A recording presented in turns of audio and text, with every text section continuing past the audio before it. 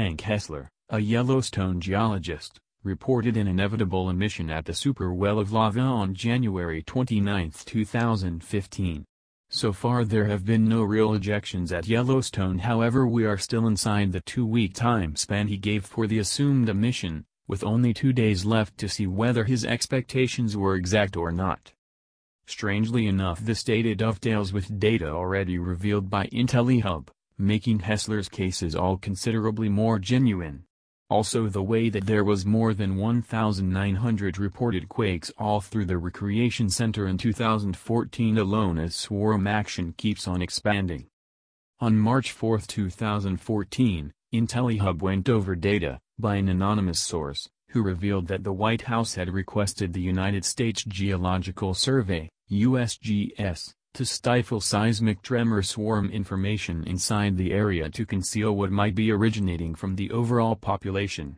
What's more, this is the place it gets frightening as Yellowstone and a 1,000-mile swath encompassing the recreation center's supervolcano might be on the precarious edge of an elimination-level occasion, ELE. Truth be told reports recommend that antiquated helium-4 gas has broken the surface layers of Yellowstone's hull and is currently getting away into the world's air. Combined with the current and sudden ground-level ascent in the recreation center we might be taking a gander at a formula for calamity.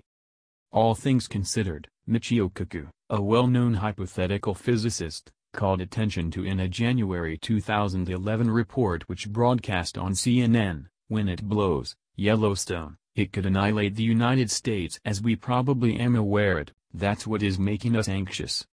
Shockingly, later in the broadcast, Kaku went ahead to clarify how a 1,000-mile ring of the U.S. would likely be obliterated if the supervolcano really went. Furthermore, to exacerbate the situation, geologists all presume that the recreation center is long past due for an ejection. Truth be told, the last Yellowstone emission was thought to have occurred around 630,000 years prior, which means we are around 30,000 years past due, actually placing us in the last place anyone would want to be, front line. Kaku additionally called attention to that, each and every burp, mumble, of this huge supervolcano, including the transcend ocean level, must be observed deliberately, so essentially in the event that you crunch the numbers for the calamity zone span, the initial 100 miles exuding out from ground zero would be totally wiped out.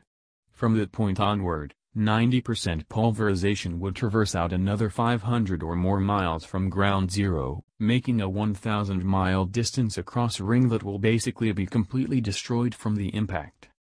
Moreover this would basically put what's left of the United States into a state of emergency and all-out military law would be pronounced under National Security Presidential Directive, NSPD, 51. What's more, it deteriorates. Despite the fact that it is extremely unlikely I can vouch for the data, I basically can't. Yet, as indicated by an irregular person who posted a video on YouTube, the USGS has likely been requested by Washington to stifle data in regards to late seismic action and vaporous discharges in and around the Yellowstone area as a conceivably in transit. This data came specifically from an associated individual, as per the video, which additionally brings up that they are expecting the huge one. However the man's source has not yet been uncovered. Furthermore, by and by, I myself can't vouch for this by and by. I simply need to make that unmistakable. Be that as it may, all the more imperatively the greater part of this coordinates with genuine information I could reference demonstrating an ascent of ground level in the recreation center of more than 10 crawls in the most recent 7-day stretch of February 2014 alone. So normally this has me pained as Michio Kaku himself expressed, as the ground begins to rise, an ever-increasing number of seismic tremors take place, that's about all the notice we get, noting an inquiry with respect to a cautioning. Kaku completed with, it will happen and, when it does, it will obliterate North America as we probably am aware it. Amid the last ejection, 640,000 years prior, huge measures of North America were shrouded in no less than 12 creeps of fiery debris. A current KSFY selective report notes, if Yellowstone had a super ejection at this moment, harvests would be lost, making it difficult to nourish cows which would bite the dust. Market costs would soar as meat, grains and drain would be hard to find. Face veils would be required as taking in volcanic cinder is basically the same as taking in little particles of glass. And the greater part of this would prompt a Mad Max-like situation over the U.S.